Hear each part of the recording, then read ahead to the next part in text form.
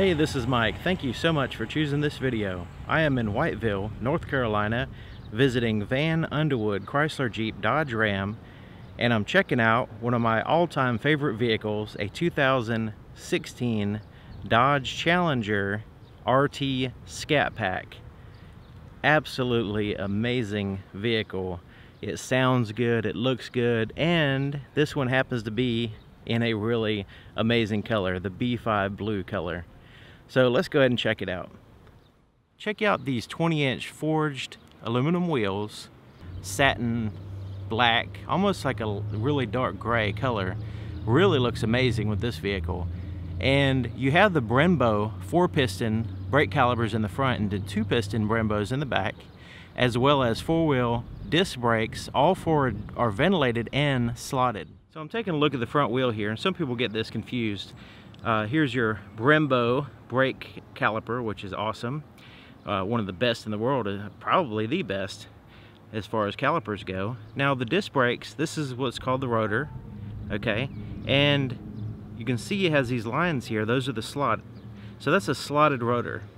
Ventilated rotors are basically two, you can see right here, I don't know if you can see in there, but you can see there's a plate here and there's a plate on the inside and they're separated with bars of metal with air between them, and that's a ventilated disc brake. Now, you, some people get those confused with a slotted or a cross-drilled. So this one's not cross-drilled, but it is slotted and ventilated, and that's basically all four wheels are just like this one. The name of this color is B5 Blue Pearl Coat. Absolutely stunning color, very popular. So the looking here on the front, you can see it has the uh, projector headlights with the halos accent, accenting those. And the headlights are projector low and high beam with HID powered bulbs. You also have halogen powered fog lights there at the bottom that, that are also projectors. Everything in the grill is satin color, including that chrome accent there. It's a satin chrome accent that's split in the middle. They started that in 2015, which really made a big difference to me anyways. We also have this satin black uh, decal here, hood decal, which is looking pretty awesome. The Scat Pack emblem here on the side of the vehicle is one of my favorites. It's really neat. Has a little bumblebee flying. You can see it has like a little engine thing going on with the wheels. Absolutely love it. So this is what the key looks like. You have the lock and unlock buttons. You can open up the trunk and it does have the remote start, including a panic button. There's the Dodge emblem on the other side. You also have a physical key on the inside by using that little latch and you can slide it out. But this is a proximity key. It's designed to basically keep it in your pocket the whole time and you can use the vehicle without having to take the key out of your pocket or your purse. So walking up to the vehicle, as long as you have the key nearby, it could be in your pocket or whatever, to lock the doors, you just push this button right here. It'll lock the doors. If you want to unlock it, you just put your hand underneath the handle here and you can it'll unlock for you. So it senses the key nearby, that's why they call it a proximity key, and it senses your hand position and allows you to use the vehicle. So here's the inside of the passenger door. Pretty much everything black except for that metallic accent there and your Alpine Premium Sound System emblem there. But everything's soft to the touch. I mean, just everything you can pretty much touch. Besides down here, there's some hard plastics, but it's very comfortable and classy and high high quality feeling I guess you can say. So you have a little storage pocket there a bottle holder here and then your door lock controls and window controls. You also have a little pocket here in the back. So here's your threshold here and you have manually adjusted seats here on the passenger side. And these are Nappa leather and suede seats. They're heated and cooled very comfortable seats and they're soft very soft. You have these bolsters here on the side but they're very comfortable. They're not intrusive on your body. You get in there, you're very comfortable. You have the stitching right here in like a gray color. It's like a French design stitch. And then you have the uh, the smooth Nappa leather here on the outside, and then the suede here in the middle. And you do see the uh, the perforations there in the center. That it helps out with the ventilated seats and the heated seats, kind of getting the temperature change that you want. You have the RT emblem embroidered in the back of the seat. You can see you have a little net pocket there as well as a 12 volt power supply. Massive amounts of legroom here in the front. And the floor mat hooks in place, so that really helps out with it, keeping it in place. You have a lockable glove compartment, it opens up, and you have this kind of shelf organizer so you can keep it organized. Up here it's smooth plastic, you have these little shelves. Down here it's felt lined, and so I always have a problem, and I think a lot of people do, as far as organizing their glove compartment. Usually people just stuff it in there, but this you can actually organize it with little shelves. So let's go ahead and take a look here in the back seats. Now the back seats, when you have the front seats all the way back, you have pretty much zero leg room. So, except for there in the middle. But basically, to have somebody in the back seat, you're gonna have to compromise a little bit on the front leg room, just the nature of the vehicle. But the back seats are contoured. They have the uh, the suede and the Nappa leather, just like the uh, the front seats. They also have the uh, latch system for car seats. You have a center armrest there with cup holders. You have a padded armrest there. But just overall, the back seats are very comfortable if you just have a little bit of legroom there. Of course, like I said, you're gonna have to compromise a little bit on the front. But as far as just overall comfort, they are superb in the back as well. So let's go ahead and take a look here in the back. You have that deck lid spoiler in black and it, perfect size as far as I'm concerned. It's not too big, not too small. And then you have the split tail lights. Absolutely amazing LED tail lights. You gotta check out my night video. Actually, I got to need to make a new one, but I have a 2015 Challenger at night showing you the interior and exterior lighting you check that out. So back here you can see it has the chrome tipped dual exhaust.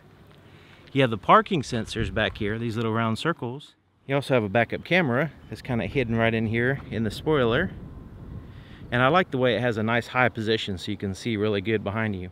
So while we're back here, we've got to use the remote start because we've got to listen to the exhaust. So we just double tap that button and it starts right up.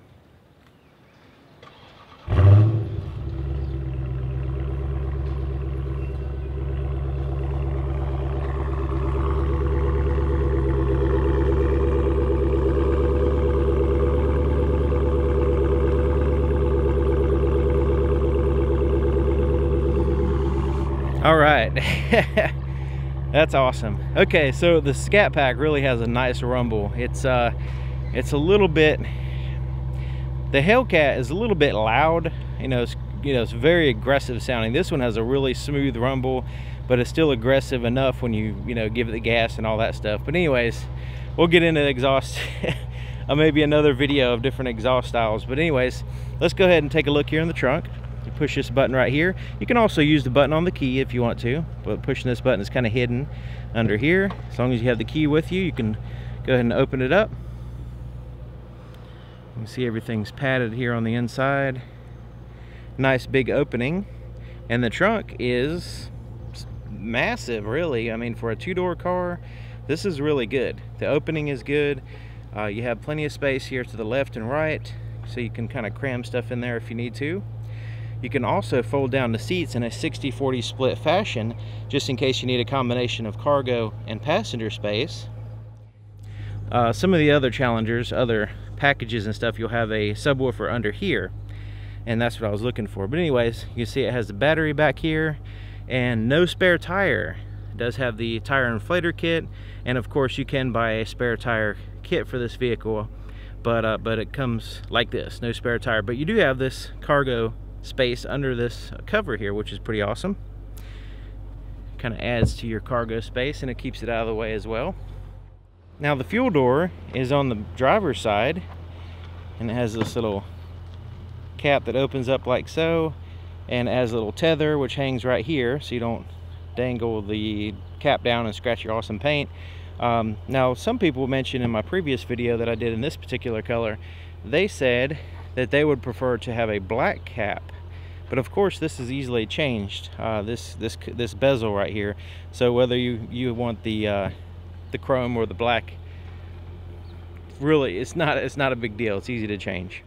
Starting the vehicle without the remote start you get in the vehicle put your foot on the brake and hold it and push this button.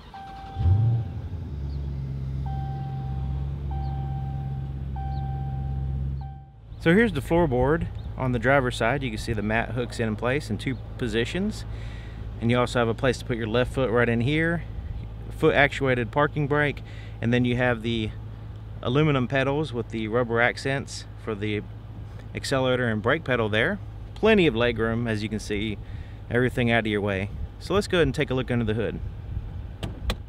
So to open the hood you just reach in a little bit to the right of center right in here and there's a little latch on the bottom. You just move it towards the inside and you lift up just a few inches and it goes up the rest of the way by itself. All right so there it is. There's the beast powered by SRT 6.4 liter 485 horsepower V8 paired to an 8 speed TorqueFlite automatic transmission that will blow your mind the the power of the engine the sound of the engine and the way the transmission shifts is really impressive. You have to take one for a test drive if you've never experienced it before.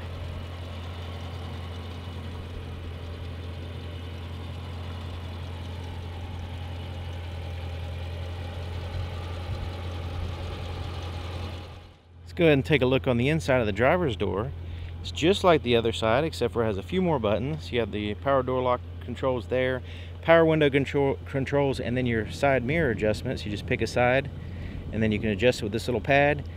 So let's see how fast the windows go up and down.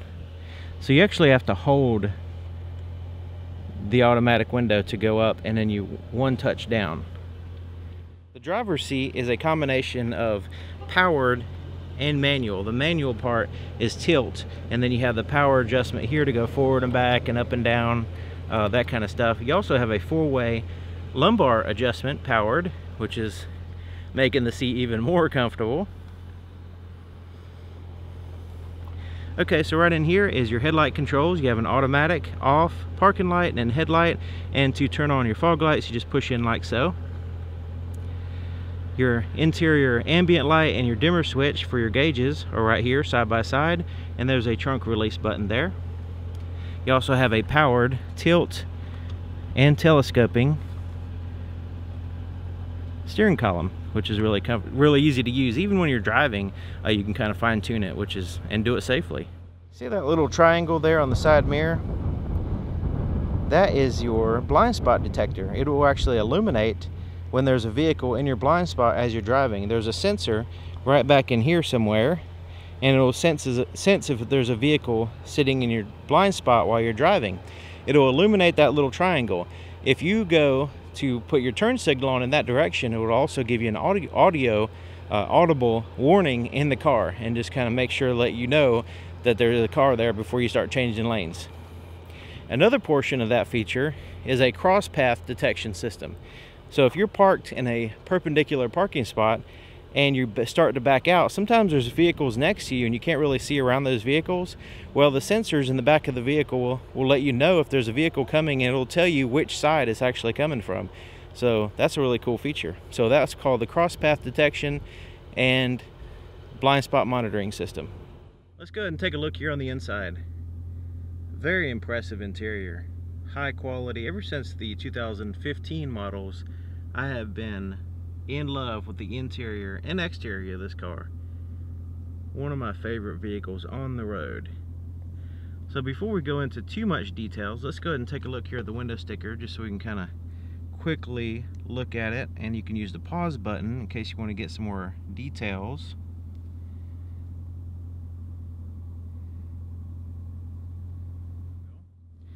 Now the steering wheel is a leather wrapped, super high quality with the stitching there on the inside. Very good thickness. You have the bolsters right in here but just overall it's extremely comfortable to to handle and to drive. Uh, it's not digging into your buns from being too thin or or whatever. Just feels really high quality and looks really good. So you can see it has quite a few buttons. You have your cruise control here on the right and on the back side you can see it has the paddle shifters the plus and minus there so as you're driving, you can cycle through the eight gear ratios if you want to. But on the very back, just under that, is this toggle switch up and down and a center button. And the one on the right is your volume for your radio. So you can adjust your volume with that. And the center button will allow you to cycle through AM, FM, satellite radio, your different audio uh, sources there. Now on the left side of the steering wheel, in that same position, you have that toggle switch up and down, uh, but it controls, you can go through the radio stations, and then the center button will cycle through your presets, which is really handy. So this is keeping your hand on the wheel and able to do stuff at the same time, which is really good. Okay, so here on the bottom of the left side, you see you have, you have your Bluetooth phone. You can answer, hang up there. You also have the voice recognition system, which allows you to do all kinds of stuff, including call people, but you can also change the radio, all kinds of different things. Uh, there's a whole booklet on the different commands that you can say using the voice recognition, and it keeps you staying productive, answering calls, making calls, etc., while you keep your eyes on the road and hands on the wheel, which is all good. So these buttons right here correspond with the menu system right in here in the center, which we'll get to in just a minute. Your windshield wiper controls are here on the left side, as well as your turn signal. So let's take a look here at the gauges. Absolutely awesome gauges. You can see it has that red circle around and this concave design, kind of a classic muscle car look.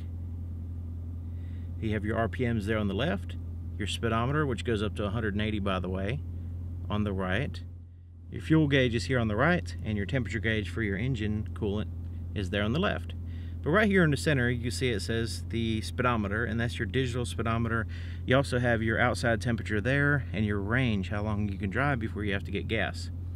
Now, this is all customizable. For one thing, we're going to use these buttons right here, the up and down, the OK, and I'm going to kind of cycle through and show you this is part of a bigger menu system. So this digital speedometer is just one option. I'm going to scroll down so you can see see at the top it says speedometer now you see a little one next to it showing you it's part of a menu system so let's scroll down and then we can this is the vehicle info screen and you see that little bar at the bottom if I go to the right and left you can see the little bar shows that there's more options so we have the engine power we have the tire pressure and that's high. Uh, when the vehicle um, comes in off the truck, apparently they haven't uh, checked the tire pressure yet. It's a little high, and they have to adjust it in the uh, in the service department. I guess they hadn't done that yet. And then you go to the coolant temperature, transmission temperature, oil temperature, oil pressure, oil life, battery voltage, air intake temperature, and your engine torque. That's pretty awesome. And it goes back to your engine power. So I'm going to scroll down again. This will take us to our... this is pretty interesting right here. Um, this is your performance pages. But you notice it says top speed 171 miles per hour. Okay, that's telling, that's saying that this vehicle has been driven, that's the highest speed that's been driven. And that is crazy because the vehicle only has three miles yet it's showing a top speed of 171 miles per hour and there's a reason why that show that's showing and it's not normal you that's I've never seen that before nobody at the dealership seen that before but I there's a reason why and the reason is they were uh, testing the gauges in the factory and they forgot to reset it. So it's showing 171 miles per hour top speed on a brand new vehicle. So it hasn't been driven that far. Uh, so thought that was that just really shocked me when I first saw it. So let's go ahead and scroll to the right and see what else we see in the performance. Okay, so we have a 0 to 60 miles per hour timer with a reaction timer as well. We have a 0 to 100, eighth of a mile timer, quarter mile timer, braking distance, and current g-forces, peak g-forces, so this is the most that the vehicle has been in, has had to endure, lap timer, and lap history. Then it scrolls back to that ridiculous 171 miles per hour number. Okay, so let's scroll down. And there's the your fuel economy. You have an average, and this is all skewed. This is not this is not this vehicle only has three miles, and as you drive it, it will adjust itself because this vehicle gets 25 on the highway, so uh, it gets much better than that. So then you have two of them there. Let's scroll down again. This is your trips. So you have your trip will tell you your mileage that you've driven, mile, average miles per gallon, and your time, which is cool. And you have two of them, A and B. Scrolling down, this is what your radio is doing. Scrolling down again, this is what any stored messages will show up here. And your setup, there's all kinds of stuff you can set up as far as your corners, the things on the corner, upper left, upper right, in the center, you can all adjust that if you want to.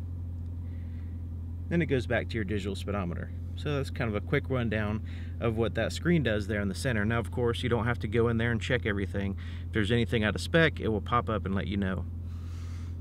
Okay, so over here is your 8.4 inch touchscreen. And right now, it's in the radio screen. And check it out.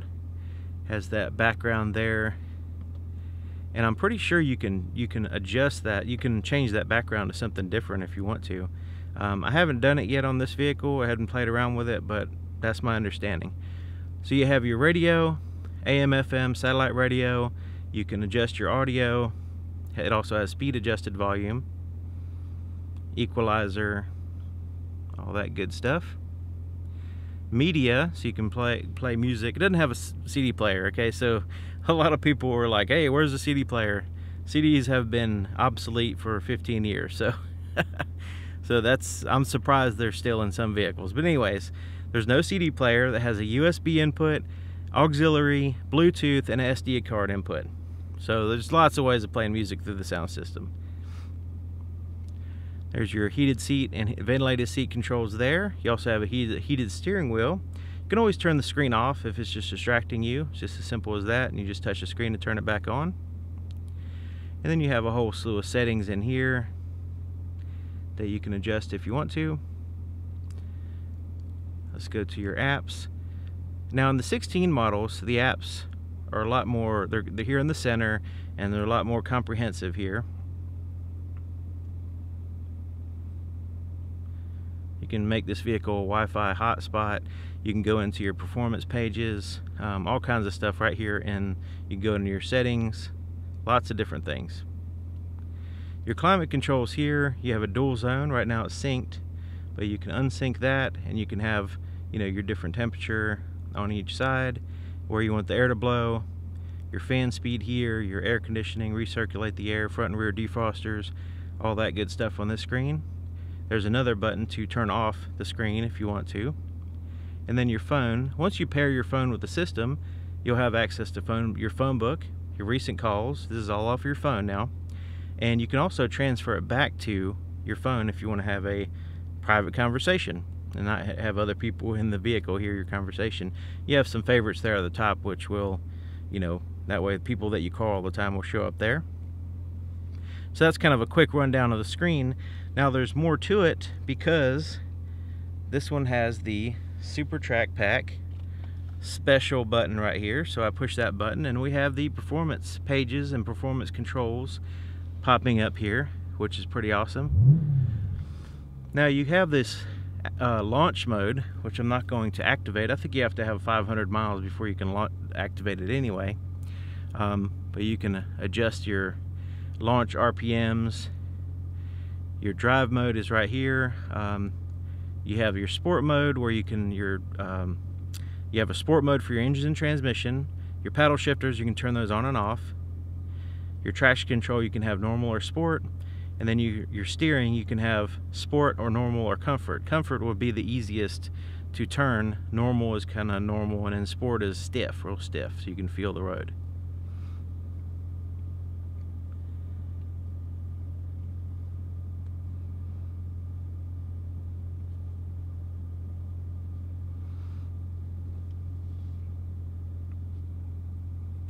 Okay, so here's all the stuff that you saw on the performance pages between the steering wheel. You have your timers, your gauges, um, your g-force meter, and stuff like that. Let's take a look at the engine. So we have what the engine's doing now. Isn't that cool? Kind of gives you the bar as you're going. And then you have this g-force meter, which will kind of tell you what you're doing in real time, which is awesome. And then you have two different gauges, the kind of active actively stay up so you can keep an eye on them. Right there and there. Your timers, current, last, best. And then you have home there, which is showing a picture of the vehicle. You can show show look at pictures, I guess, of it. And that's part of one of your apps is the uh, the performance pages. So awesome stuff. Okay, so let's go down here and we have a traditional knob for your radio for your for your volume and turn through the stations. You have a back button. This is for certain screens on on on here where you can back out of. Okay, so the for the people that want to really have fun with the vehicle and be a little bit on the risky, dangerous side, you have two things. You have the sport mode, which will tell the vehicle that you want to be in the highest performance possible. Now it also turns the traction control into a sport mode. Now you can do that as well by pushing this button. Now if you push and hold this button, the traction control button off, takes a second, it completely turns the stability control off. So you have to be really careful. You really don't want to do that unless you're like doing donuts and going really wild. Um, but you can do that if you want to. It can always, you know, push it again to turn it back on. Now you do have some redundant buttons down here for your climate control, for your temperature, and your air conditioning, and your front and rear defrosters, and your fan speed in case you need that. So here's your shifter. You have this little storage pocket. Perfect place to put the key, by the way. So the shifter is very comfortable and go ahead and put it in reverse. We can take a look at the backup camera. And it also shows that the parking sensors are active. So if there's something back there, it's going to beep at me, but also show me where the actual thing is as I'm backing up. All right, let's continue down. There's neutral, there's drive. That's our normal drive position. Now you can cycle through the gear ratios by pushing the paddle shifter, but if you accidentally bump into it, you just push and hold the plus and it'll go back in the drive. But if you want to manually cycle through the gears with the shifter, you just put it over here in a manual mode and you can bump it up and down like a ratchet shifter, just like the old-timey ratchet shifter. So that's pretty awesome. Okay, so here's your cup holders, and you got to see these, these at night. They have this like ambient light going on here that looks awesome, looks really awesome. And the soft to the touch armrest here with the French stitching, which is looking awesome. And pretty much this the whole dash is soft to the touch. It has like this Nerf feeling, I guess you can say. And it's a non-reflective surface. But anyways, there's your armrest and very cushy and comfortable and you can share it with your passenger. Opens up right here. You have the Dodge Brothers emblem there in the center. You have a felt lined storage compartment. Goes down in there pretty good. You have a 12 volt power supply that stays on all the time. It's connected directly to the battery. And this is where you'll find your auxiliary, USB, and SD card inputs. You also have a place to put wires in and out of this compartment in case you want to charge your cell phone or whatever. Alright, so here's your rearview mirror, and it has a auto dim feature and it's auto dimming right now because I have the shade over the light sensor so I don't know if you can see that you have the assistance button and this is like literally anything. If you want to learn how to do something or if you have a question about your vehicle you push that button it's gonna take you straight to a certain part to a person in in Dodge that's gonna explain stuff to you. And also it's good for your roadside assistance too. You also have a 911 button. Now this vehicle has its own cellular connection so it can actually call 911 even if you don't have your phone with you. You push that button, it'll give you about 10 seconds to back to stop it here on the screen in cases you accidentally press it. But it'll actually connect you to a 911 operator directly, which is really good. So right on, you see those little bumps on the top of the rearview mirrors, on the rearview mirror, those are your speakers for your Bluetooth system, which is cool. You also have the Home Link garage door opener controls there, you have some tap lights right here. Place to put your shades in there with a little cushion to protect your sunglasses. So the visors, this one's covered up, but here on the right you can see it has the mirrors and the lights. Has this little thing that sticks out to help out with keeping the sun out of your face. Let's take a look at the visibility here in the back. So you can see there's kind of a blind spot right there. You can see it directly out, but there's pretty good blind spots there and there.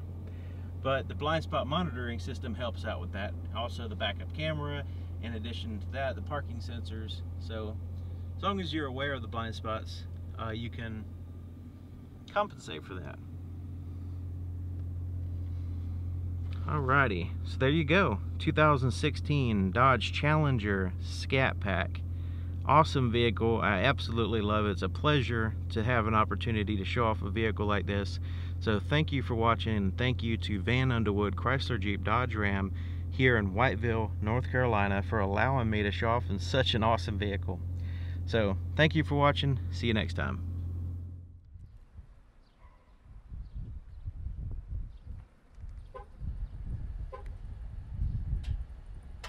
Mm-hmm.